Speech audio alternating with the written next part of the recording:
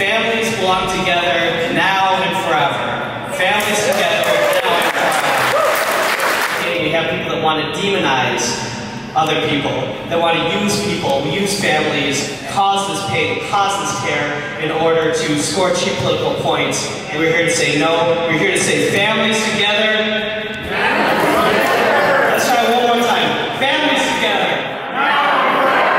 We need that give us a vision, a goal of where we're going. And what is that goal? That Wisconsin be the 12th state in the United States that becomes uh, a sanctuary state. This is an issue that is affecting families, many immigrant families that have been living here 20, 30 years. One of them is from Green Bay, Raimundo Moreno. He is a father of four, a grandfather of seven, a landscaper by trade, active in his church for many, many years, and for a simple driving without a license infraction.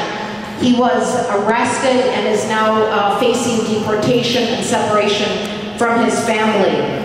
There is no there is no crime here. The only crime is a system of laws that denies him his humanity, legalization, his family. At a local level, we are fighting for non-collaboration between the Milwaukee Police Department and ICE. We say close the camps, keep families together. Si se puede. These are our brothers, our sisters that are being locked up in cages. These are our brothers and our sisters who live in fear every day of being taken and ripped from their homes. We will re-inject the humanity in our brothers and sisters on this day.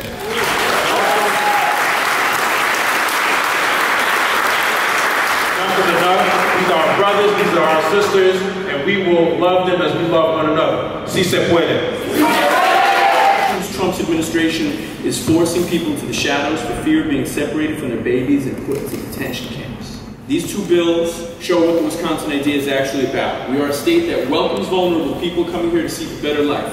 We're a state that supports the rule of law and takes a stand against government overreach and constitutional violations. And as the people of New Richmond, Wisconsin showed earlier this year by rejecting a proposal for a privately run ICE prison, we are not striker here. Private immigration prisons run by for-profit corporations must never be allowed in our state.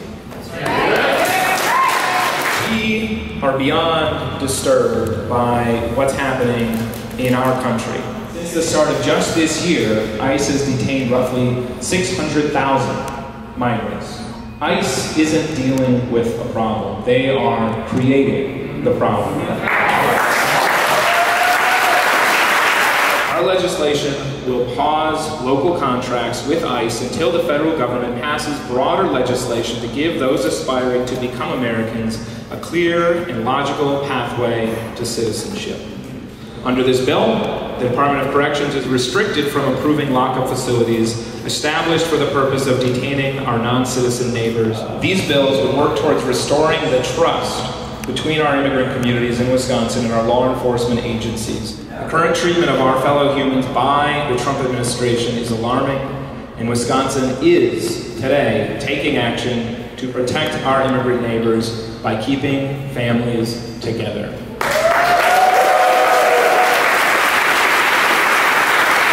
Families together. One more time. Families together. Families together.